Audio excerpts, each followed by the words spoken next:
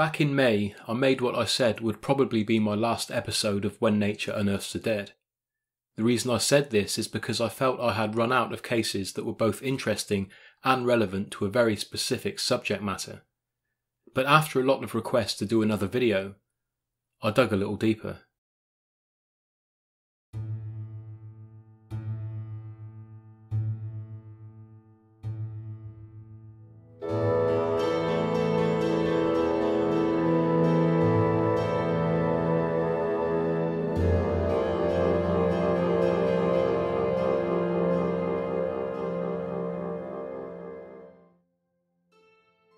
In January of 1928, numerous newspapers across the UK featured amongst their columns the story of Johann Tirala.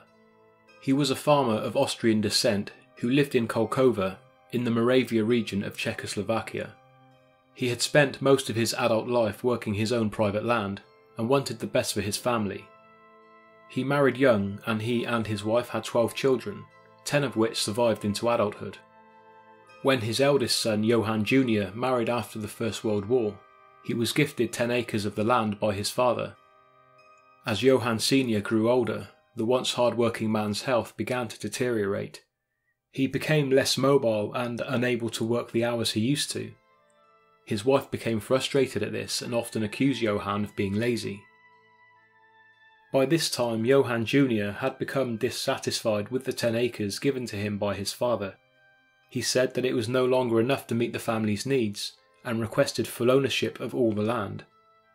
Johann Jr. had the support of his mother, and for some time both made constant demands that all the land be handed over.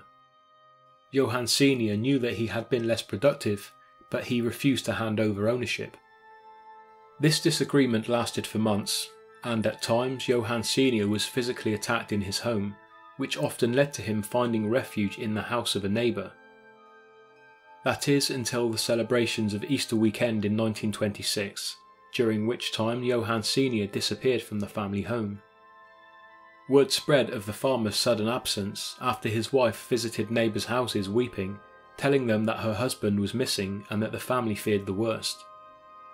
All searches for Johann were in vain, and it was eventually accepted by the people of the village that Johann had probably taken his own life his wife and son said that he had most likely drowned himself in a lake close to his farmland. Despite no body being found, this theory was accepted at the time without much more investigation. In the wake of the mystery that surrounded Johann Tirala, his son took control of the land, and as the months passed, his disappearance was almost completely forgotten. That is until one bitterly cold spell in March of 1927 when a pack of starving foxes searched the nearby communal wood for food.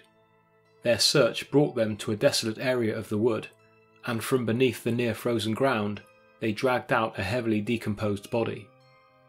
The remains were discovered by the people of the village before they were completely ravaged.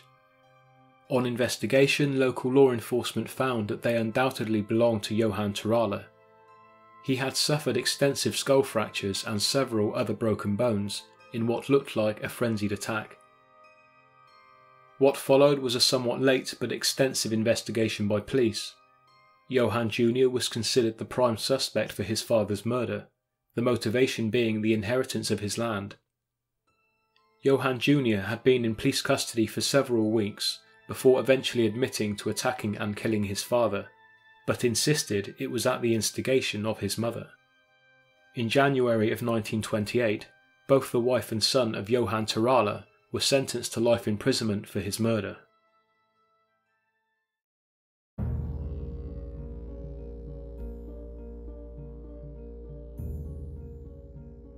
In part 2 of this series, I covered a 1930 story from St Andrews in Scotland, in which a man named John Wilson found human skeletal remains inside a stone coffin that had been exposed due to a recent landslide close to a coastal landmark known as the Rock and Spindle. A few years later, the same John Wilson, who I now know was a veteran sailor, stumbled upon a second set of remains in the same area of St Andrews at the Kinkell Braes. This discovery came in April of 1937. Wilson was walking along the cliff path when he noticed a landslide had occurred in the cliff's edge. As he drew closer, he saw the full, well preserved skeleton of what he described as a young person. He said he formed this opinion because, on closer inspection, the jawbone didn't appear to be fully formed, and the teeth were in perfect condition. The skeleton was sitting upright with its feet resting on a rock, and gave the impression of someone simply resting and looking out to sea. As the area was never a burial ground to his knowledge, Wilson suspected that the person had fallen victim to an earlier landslide, which covered them in earth while they sat alone at the foot of the cliff. John Wilson said that he had initially intended to pay a visit to St Andrews University professor, surgeon, and anatomist David Waterston the next day to inform him of what he had found. Wilson cancelled the visit due to bad weather, but a Madras college teacher agreed to accompany him the following day to examine the find and to take a photograph. By then, however, yet another, more extensive landslide had occurred, reburying the bones.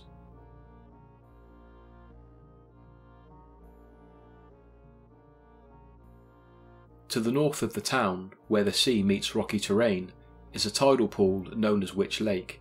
Overlooking Witch Lake is Witch Hill.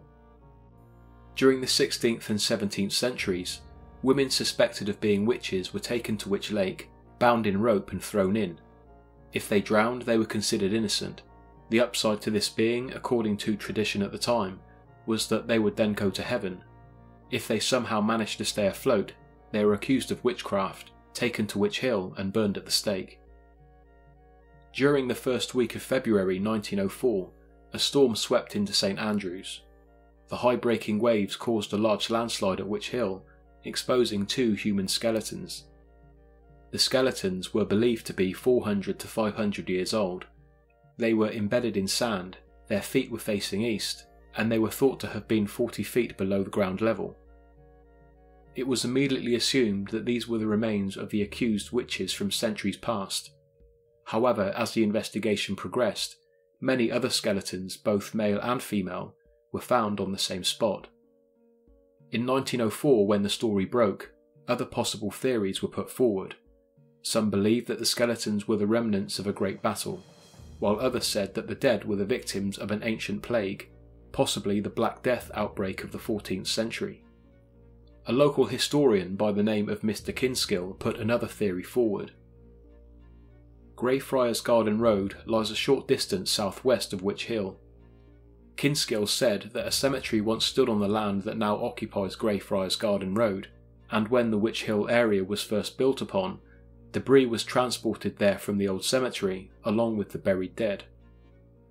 So whether they were accused witches, victims of a plague, lives lost in battle, or the occupants of an ancient gravesite, the storm of February 1904 brought to the surface another morbid glimpse at Scotland's past.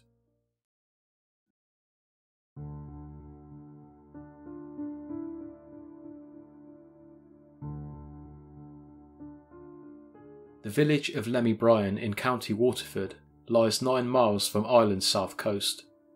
It was on the outskirts of the village on Saturday, May 7, 1938, that a man who was out walking found a human skull jutting out from a hole in the ground. Tattered clothing, other bones, and what looked like a rotted walking stick also lay nearby. This area, like much of Ireland that year, had been badly affected by a month long drought between April and May, and the once waterlogged and boggy ground had completely dried out, revealing the once submerged remains. News of the so called bog body caused a great deal of excitement especially in the nearby village of Stradbally. Most of the inhabitants there firmly believed that a nine year old mystery that had hung over the coastal village had finally been solved. On Christmas Day back in 1929, a local postman went missing without a trace. His name was Lawrence Griffin. After an investigation, nothing was found. Marshland was searched, a flooded mine shaft was dragged, and recently dug graves in the local cemetery were investigated.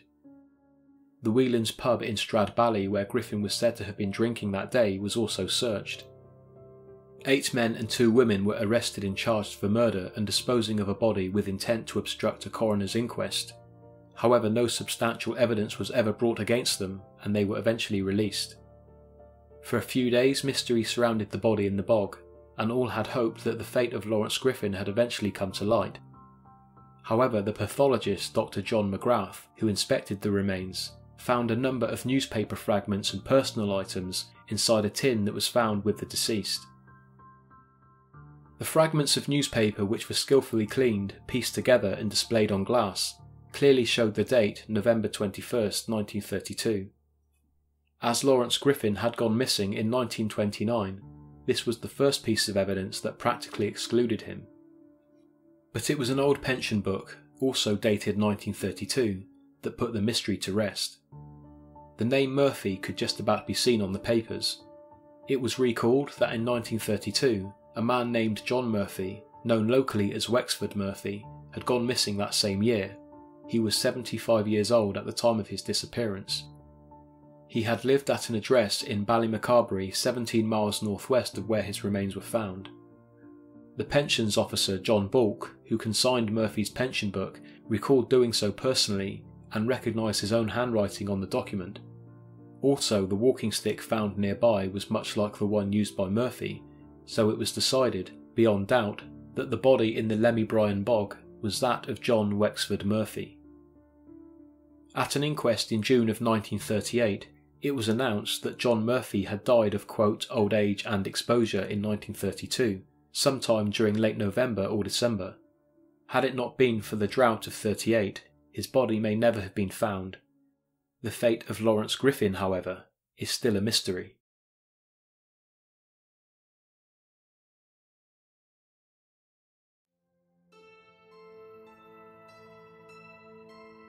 In July of this year, a friend of mine made a discovery in a wooded area of Oak Creek, Wisconsin during a live stream on his YouTube channel. There isn't much background information on who the deceased was, or if it was a human at all, but he returned the next day to review the find. I was here yesterday during a live stream, and I wanted to come back today and kind of document this area, show you guys what I found yesterday, and maybe pick your brain out there and let me know what you think any of this stuff is out here. Because I think I found a very old grave. And I will show it to you. I'll show you guys a few clues on why I think it's a grave. I'd be very curious to hear what you guys think about this. And this could either be the grave of a Native American. There was a very heavy Native American population in Wisconsin or could have been a very early settler from the 1800s or early 1900s.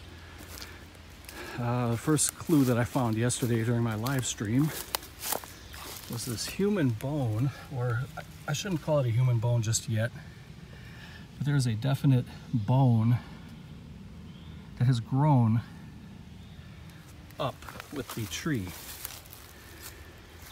And my theory is you can also see that there is a flat stone. I can't lift it up because it's kind of wedged in this tree growth here.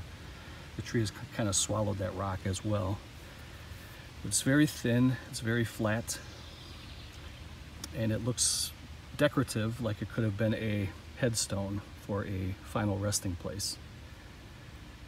And the third clue that I found was there are rocks, field stones, and these are huge. So these had to be moved with purpose but they are about the length of a grave.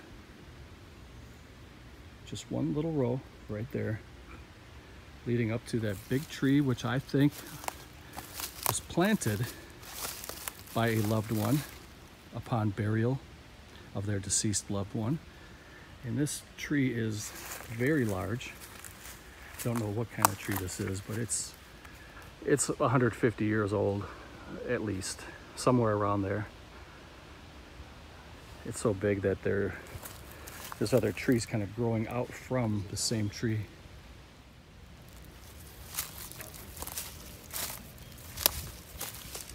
Just want to give you guys another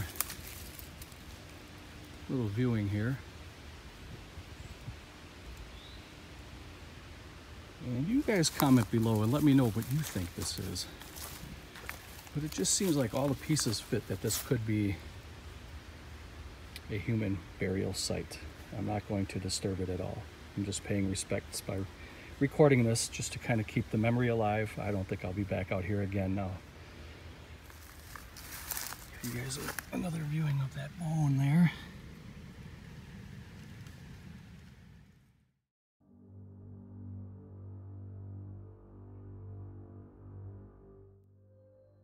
It was Wednesday, March 2nd, 1949, when a hunter was tracking down rabbits in a field close to the city of Arras in northern France. As he approached and then made his way across what he believed to be the surface of a rabbit warren, his foot, followed by his entire leg, broke through the earth. As he attempted to pull himself out, he realised that his leg had broken through rusted sheet metal and was now hanging freely in a cavernous underground space. After eventually pulling himself free, the rabbit hunter excavated a little further and found himself staring down into a large subterranean room. When investigators arrived at the scene shortly afterwards, it was discovered that beneath that unassuming field in the north of France was a German occupied military hospital from the First World War.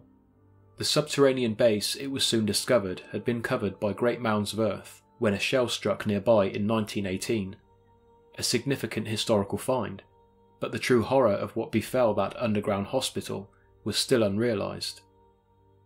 When the investigation team, armed with torches, lowered themselves in, they found rows of beds against sheet metal walls, and on every one of those beds were the skeletal remains of what were once patients. Those who had suffered severe injury were missing arms or legs, while others were intact. Beside some of those bodies were the skeletons of the medics who had once tended to them. One scene in particular, it was reported, showed a bedridden skeleton with a second skeleton slumped beside the bed, with medical apparatus still in its hands, as if the person had been attempting an operation at the time of death. German helmets and rifles were found stacked against the doors, and the communication trenches leading in and out of the base had been sealed off by expelled earth. It's likely that the base was buried during 1918's Second Battle of the Somme, when the British Army widened their attack into the Arras region. It's thought that most, if not all, of the live inhabitants would have survived the initial explosion, only to suffocate in the darkness.